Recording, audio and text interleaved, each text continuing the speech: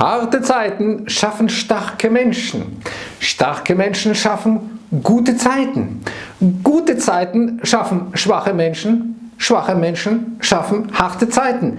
Das ist der ewige Kreislauf, der offenkundig der Fall ist in der menschlichen Geschichte. Und derzeit, so ist zumindest mein Eindruck, haben wir schwache Menschen teilweise, die viele aber für stark halten, die faktisch dann harte Zeiten schaffen. Und einer dieser Menschen ist Elon Musk, der immer mehr jetzt an den Finanzmärkten mitmischt, schon sich da in dieser ganzen GameStop-Geschichte geäußert hat, gesagt hat, ja, man kann doch nichts verkaufen, was man gar nicht besitzt. Insofern ist äh, Shorten ein ganz übles Ding. Da hat der Mann allerdings einiges nicht verstanden. Es gab schon in der Antike die Praxis, Dinge, die man nicht unmittelbar besessen hatte, zu verkaufen und andersrum. Das geht gar nicht anders, wenn man Termingeschäfte macht. Fragen Sie mal Landwirte, äh, die spekulieren, nicht spekulieren, sondern die sichern sich ab an den Märkten. Fragen Sie mal die Lufthansa ähm, etwa die mit Kerosin spekuliert, um Risiken rauszunehmen. Fragen Sie etwa mal Silberproduzenten, die sind short in Silber, um, sollte der Silberpreis fallen, sie dann wenigstens an den Finanzmärkten ihre Verluste, die sie durch das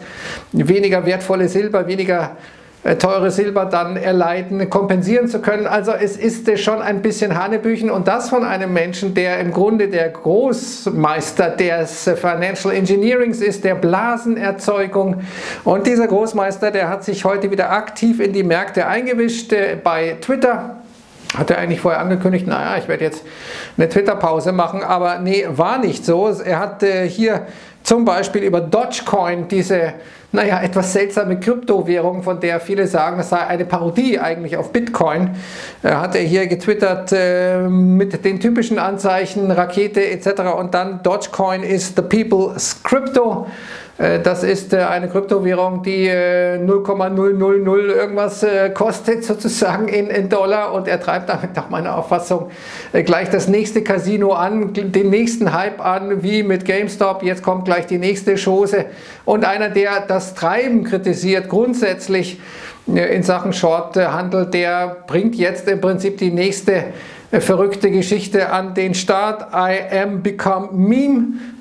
Sie erinnern sich diese Geschichten um GameStop, äh, AMC Entertainment, das waren die sogenannten Meme-Aktien, Destroyer of Shorts, also das scheint seine Mission zu sein, weil offenkundig er nach wie vor irgendwie einen Groll hat, eine Wut hat gegen Shortseller, die sich allerdings die Finger verbrannt haben, weil sie gedacht haben, da geht es mit rechten Dingen zu. Nein, es geht aber bei Tesla nie mit rechten Dingen zu. Da gibt es ein paar Jungs, die sehr geschickt die ganze Geschichte aufgezogen haben. Und man darf ja eins nicht vergessen, ähm, Elon Musk ist ist äh, der reichste Mann der Welt inzwischen.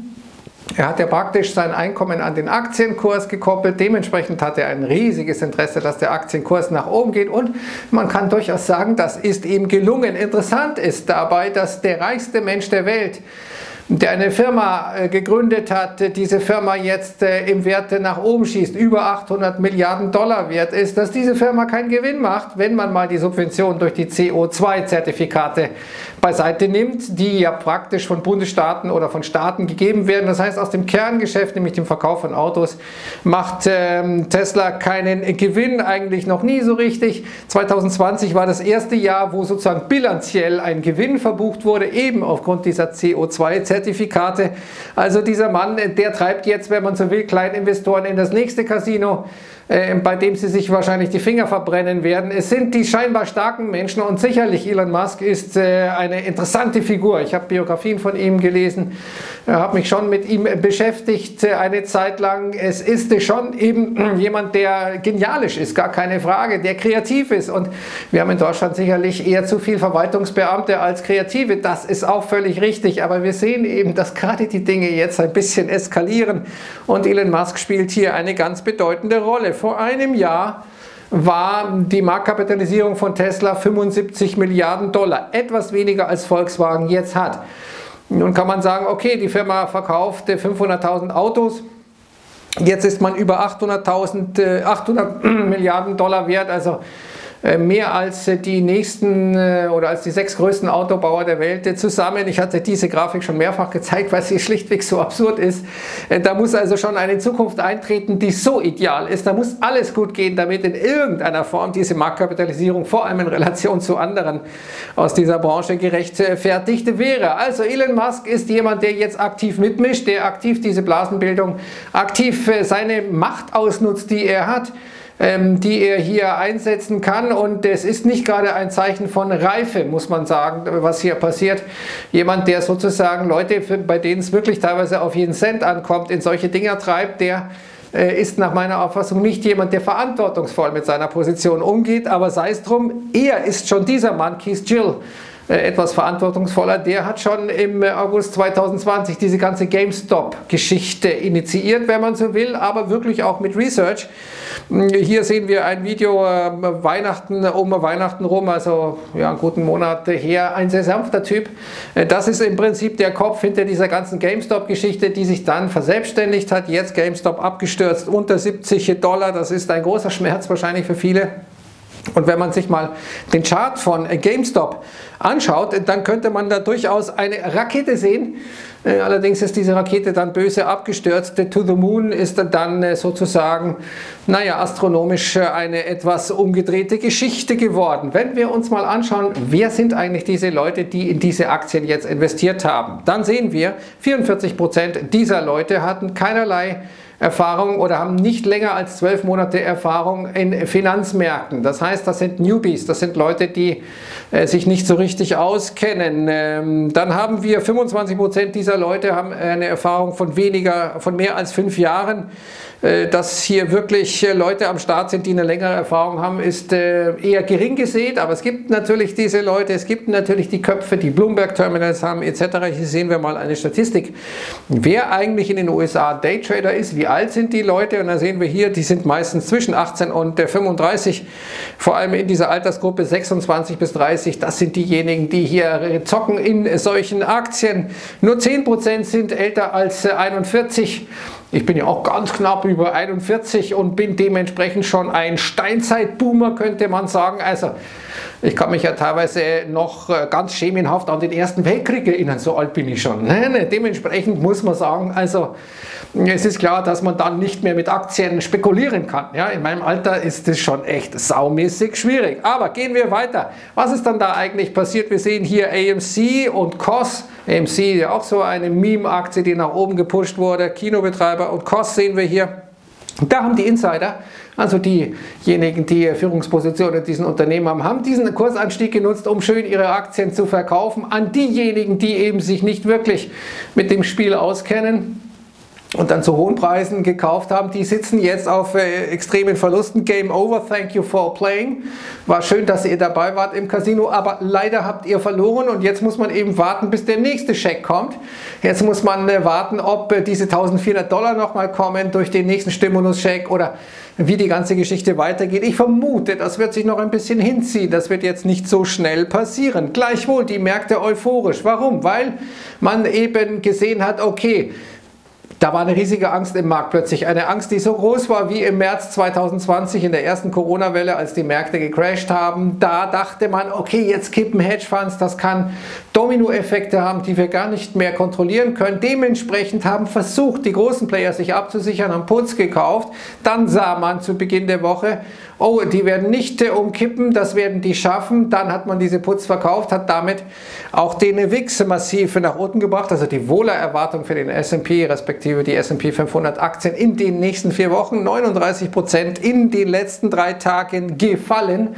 Äh, das ist äh, mal ein Move und wenn wir sehen, der Margin Debt, also die Hebelung, die bei den äh, Spekulanten oder Investoren hier der Fall ist, ist so hoch wie noch nie, ist jetzt sogar ein Stück höher als auf dem Hochpunkt der Dotcom-Blase und höher als kurz vor der großen Finanzkrise.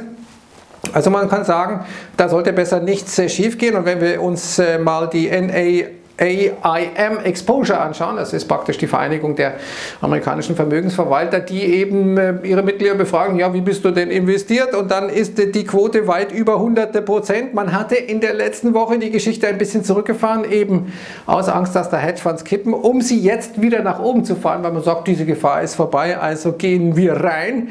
Und wir sehen, dass dann zum Beispiel heute der große Gewinner wieder der Russell 2000, dieser Nebenwerteindex, der von dieser Reflationsidee profitiert. Also die Nachfrage wird steigen, weil die Wirtschaft sich stark erholt. Dementsprechend, wenn Wirtschaft sich erholt, wenn Nachfrage steigt, werden die Löhne steigen. Der Mix führt zu Inflation und dann gibt es bestimmte Branchen, die von dieser Inflation angeblich profitieren.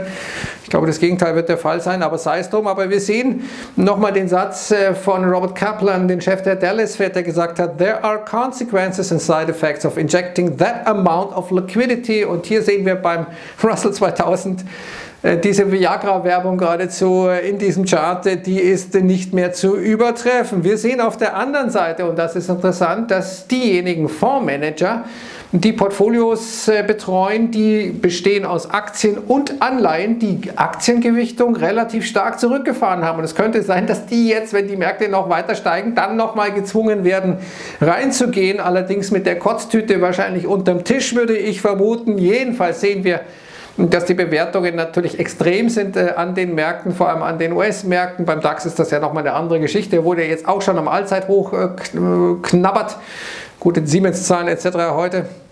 Wir sehen, dass jetzt diese vier Firmen, Apple, Microsoft, Amazon und Google, die bringen 7,1 Billionen Dollar auf die Waage. Das ist mehr als jedes andere Land an BIP auf die Waage bringen kann, außer die USA und China.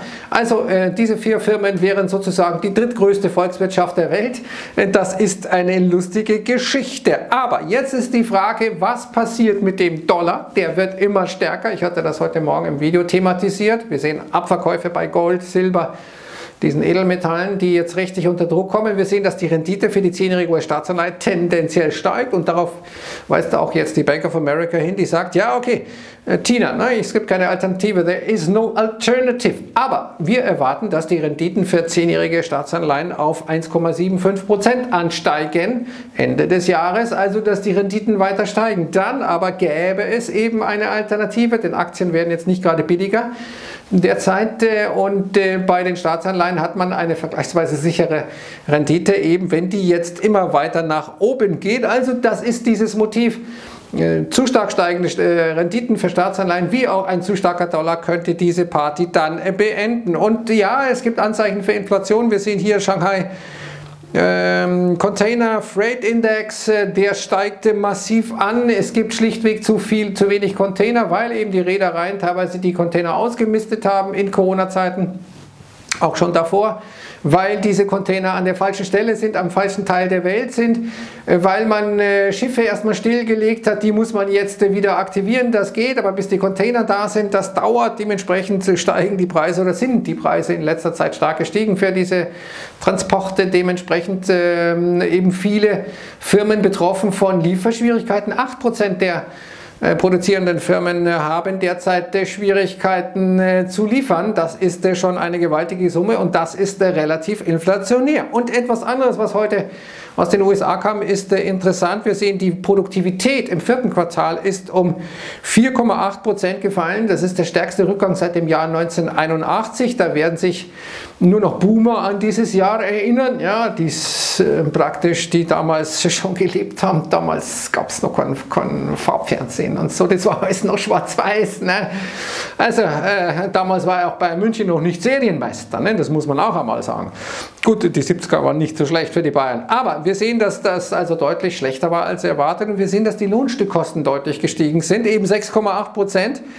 Und damit hat man die Verluste, die im vorherigen Quartal angefallen sind, fast wieder aufgeholt. Also das sind schon Anzeichen inflationärer Tendenzen, könnte man sagen. Kommen wir Abschließend noch nach Deutschland. Wir hatten heute den äh, Börsengang von Auto 1. Erfolgreich, natürlich viel höhere Preise erzielt, dann die Aktie deutlich gestiegen, 45 Prozent. Man hat 1,8 Milliarden Dollar hier mit diesem IPO erzielt. Der größte Börsengang seit Oktober 2019 in Deutschland und es gab im letzten Jahr nur 20 Börsengänge. Also Deutschland war nicht gerade IPO-Land. Die Amerikaner über 400, die haben richtig zugelangt. Und abschließend noch ein Hinweis. Wir haben mit der Trade Republic gesprochen in diesem Umfeld, GameStop und so weiter.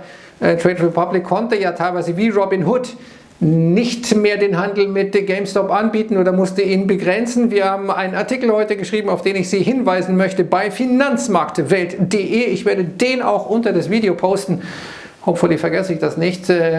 Äh, Boomer sind teilweise schon ein bisschen schwach, was die Erinnerung betrifft. Dementsprechend versuche ich mich daran zu erinnern, dass ich diesen Artikel unter das Video auch bei YouTube poste, sodass Sie den sich mal durchlesen. Das ist, äh, finde ich, etwas, was die Dinge sehr gut auf den Punkt bringt. Jetzt wünsche ich einen wunderbaren Feierabend und sage to the moon, Elon Musk, äh, vielleicht gleich zum Mars. Äh, hm, vielleicht finden wir noch einen anderen Planeten oder Asteroiden, auf den wir fliegen könnten. Elon macht es bestimmt möglich.